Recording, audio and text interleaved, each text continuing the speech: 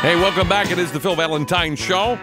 And, uh, you know, a lot of folks have become disenchanted uh, with the Dalai Lama, not knowing exactly uh, what that hope and change was all about. Eric Rush uh, is actually a conservative, and he happens to be a black man. And I, I, I tell you that because we're going to talk about how, uh, black Republicans offering hope after uh, Barack Obama's failure on race. Eric, how are you? I am well. How are you? I'm just fine myself. So, uh, uh, you've been a Republican for a long time, or what? Uh, well, yeah, actually, since my uh, early 20s, which was really kind of uh, unusual for someone who of color who grew up in the New York City area. Yeah, no kidding. Well, see, I grew up actually. My father was chairman of the Democratic Party when I was growing up, so. I and uh-huh. I became I became a Republican and a conservative myself. But you know, we, we we have to make these decisions on our own. I don't know how old you are, but I came of age during Reagan, and and uh, you know I'm looking around at the Democrats that are out there. There's Walter Mondale and Jesse Jackson and folks like I'm going, you know, I don't have anything in common with these folks. They don't they don't offer anything for me. And but a lot of people don't think for themselves. It's just whatever their family was, they're going to be that too. Have you found that to be the case? Generally speaking, yeah, that that really tends to be the case. You know, unless you have somebody who is uh, extremely rebellious or just uh, um, a, a critical thinker. You know, which of course we're not encouraged to do these days. But uh, I do know of some conservatives whose uh, parents were were Democrats, and they uh, just happened to, you know, be the kind of inquiring mind that uh, started investigating stuff and was like, geez, you know, I don't think this is really for me, and they became conservatives. I actually came of age. I was uh, when Reagan was elected. I was uh, 19. So uh, yeah, I was about, I'm about the same age. So yeah, that that was the first presidential election I could vote in. Yes, uh, same here. Yeah. And I made the mistake. My father talked me into voting for Jimmy Carter, and I went in and I and I pulled the lever for Jimmy Carter, and immediately I had voter remorse and asked the lady when I came out, "Can I change my vote?" And she says, "No, you can't." And but but I but at least it was a defining moment for me, Eric. I knew then, you know, that that my heart was telling me to vote for Reagan, and I never looked back. And and it's one of those defining moments. But you know, the, the, a lot of people just are are mind numbed um, on both sides. Really, I mean, we have people voting Republican just because their parents were Republicans. They're told to do that. They really don't know why they uh, or where they stand or why they stand for whatever they stand for. If they stand for anything, they're just doing it um, sort of robotically, aren't they?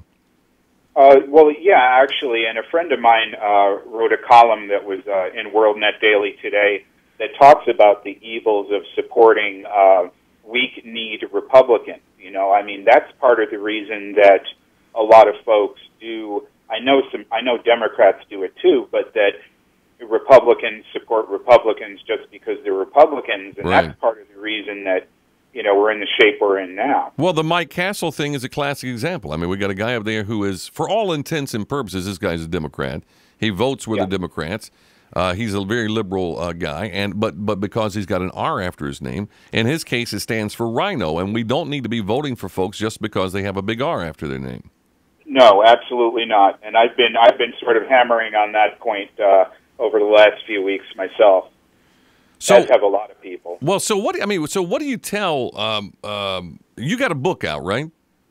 Yes, I do. Tell tell us about the book because I, I that's why I want to swerve into this of how we reach folks in the uh, quote unquote black community who have historically voted Democrat, at least probably since uh, uh, Harry Truman. Uh, and how we get to people and say, look, you've got to break this cycle of, of stupidity and start thinking for yourself like you and I have done. Well, I think the uh, the key thing is that we have to educate people as to what uh, progressivism has been doing to the country. And, uh, you know, in my opinion, progressivism occupies the same uh, low moral ground that uh, segregationism did with respect to what it's doing to all you know all of us. But my book is called um, Negrophilia: From Slave Block to Pedestal: America's Racial Obsession. It just came out in June, and it basically addresses the how how race politics has been just in one aspect of the left's uh, devices for uh, essentially taking over the United States, dividing us, uh, they that's one of their key things. I mean, it's a staple of Marxism, but they've been dividing the races by you know they hijacked the civil rights agenda back in the 70s and have been putting forth this uh, worldview that misrepresents and deceives blacks, um, makes uh, you know demonizes whites, and puts forth the idea that America is still an institutionally racist nation. And that's but one of the things that we really need to uh, address and educate people about in this sort of struggle we're in to take back America and make it more constitutional again, as, as opposed to this sort of socialist Marxist progressive thing that it's becoming. Right, and, and it's and we're on an accelerated path to that too. But we have oh, yeah. we have, we have many people who believe that they are entitled to, to, to something, entitled something, even even uh, to the point of, of reparations, or thinking they're entitled for something that happened to people 200 years ago. Uh, so how how do we break people out of that mindset? There are plenty of people out there who think, well, you know uh, you need to give me some money because I'm black, or give me some money because I'm whatever.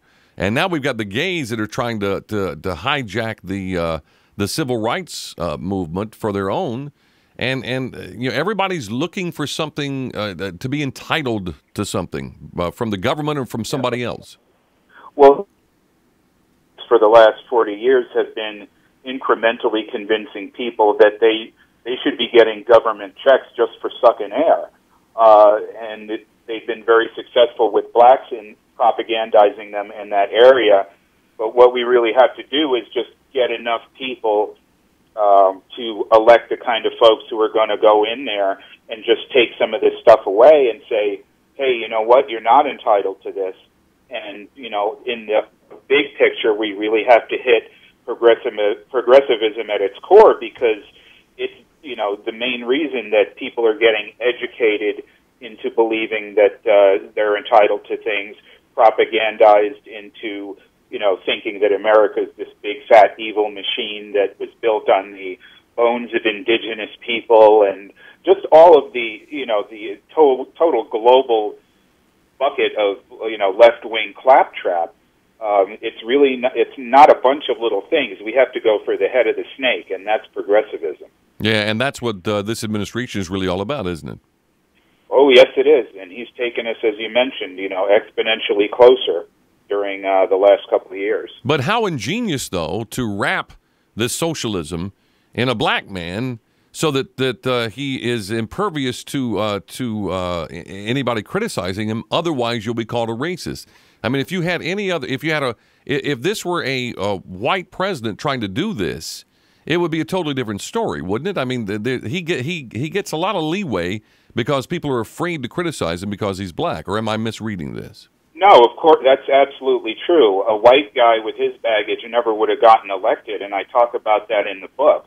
Uh, you know, having elected him just because he's black on an individual level is a subtle form of racism, but the people who who helped to get him in there like his, you know, his kitchen cabinet, his community organizer people, George Soros, the rest of the big donors, you know, they knew by supporting him that they were supporting a guy who would have a much, uh, who would have an advantage of uh, pushing forward the socialist agenda in a big way because he wouldn't be able to be criticized on that very basis. They knew, you know, we saw before he even got elected that if you if you said something about him having a bad hair day, they leaped on you for being a racist, and right. they continue to do that.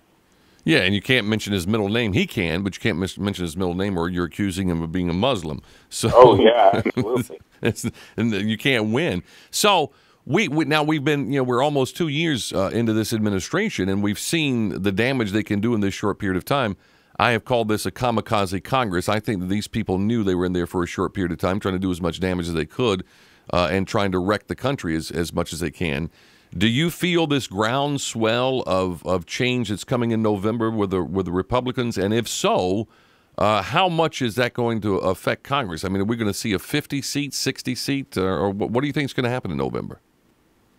I think we're really going to clear their clock, clean their clock. I, I, you know, I think that it may actually go up to 60 based on what the the tone I see out there in the polls that are uh, that are, are coming in. But I'm also my column for WorldNet Daily tomorrow is going to address the fact that not only do we have to keep these new Republican we get in there, you know, keep their feet to the fire. But we can also expect it to be a big struggle because Obama is going to step up his agenda rather than pull back. He's Right. going to use his czars. He's going to use executive orders to get things through. He's not planning to go quietly, believe me. Yeah, they, they, they, there was a piece, I guess, day before yesterday, we were talking about this, uh, where they're planning on, uh, you know, how to exercise uh, the executive branch and the power he has to get some of these things done, and and it wouldn't put it, I wouldn't put it past him for things like amnesty for illegal aliens or de facto amnesty by not enforcing the laws that we have now. Well, yeah, I mean, essentially that's what he's doing right now, coming down on the uh, the wrong side of the you know the Arizona law thing. You know, I mean that's the de facto de facto, de facto excuse me amnesty or at least license for as many people to come in here now as possible.